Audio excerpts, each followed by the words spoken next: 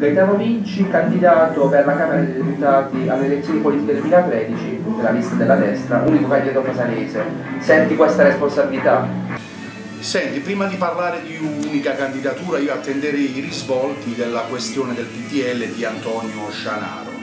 Per quanto riguarda la responsabilità non la sento più di tanto anche perché non sono in una posizione tale da dover eh, essere eletto sicuramente. Sarò decimo della lista della destra e pertanto la mia è una semplice candidatura di servizio a disposizione del partito.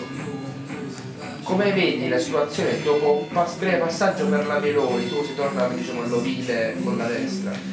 Senti, io condividevo la posizione di Giorgia Meloni di indicare attraverso quello che è l'istituto delle primarie quello che doveva essere il candidato premier o il leader della coalizione del centrodestra. Sfumate le primarie, ovviamente sono dovuto ritornare sui miei passi, ritornando laddove non sono mai uscito nel mio partito, anche perché eh, l'indicazione di sostenere Giorgia Meloni mi era stata data comunque da un breve contatto telefonico con eh, Nello Musumeci, il vice segretario nazionale della destra, che mi lega da un'affettiva amicizia. Uh, il tuo impegno invece nel Fasanese è uh, schierato nel sociale. Uh, sei responsabile della Diconsum, come vedi la situazione appunto sociale fasanese in questo periodo di crisi?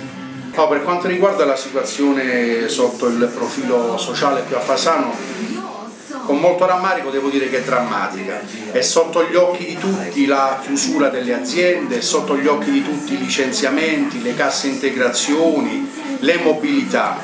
Basti pensare che nel periodo natalizio sono state presentate all'ufficio dei servizi sociali oltre 700 domande per l'assistenza economica, quindi parliamo dei cosiddetti voucher per andare a fare la spesa. Questo è sintomo appunto del malessere e del disagio che attualmente il cittadino fasanese, ma non solo, sta vivendo in questi periodi. Cosa può fare il comune di Fasano per aiutare il più possibile queste famiglie?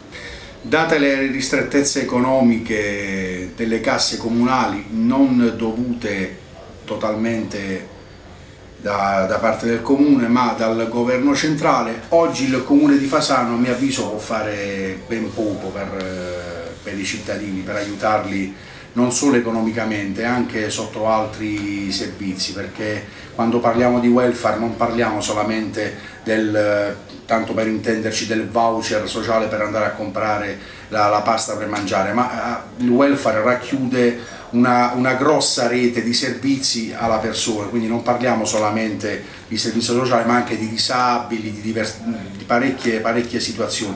Oggi con l'attuale situazione non credo che il Comune possa risolvere, possa fare moltissimo perché ormai sappiamo bene i soldi che lo Stato devolve, manda ai comuni sono sempre meno e sempre meno purtroppo sono i servizi che possiamo offrire alla città. A sinistra invece c'è la candidatura di Nicola Latorre. Eh, qual è la situazione della sinistra a tuo modo di vedere? La situazione per quanto riguarda il centro-sinistra francamente è un po' confusionaria perché hanno fatto le primarie per le parlamentari e c'era una candidata locale che per colpa, a mio modo di vedere, di dissidi interni è stata fatta fuori, si ripropone nuovamente la candidatura di Nicola Latorre al secondo posto nel, nel, Partito Democratico, credo che nulla sia cambiato da cinque anni a questa parte.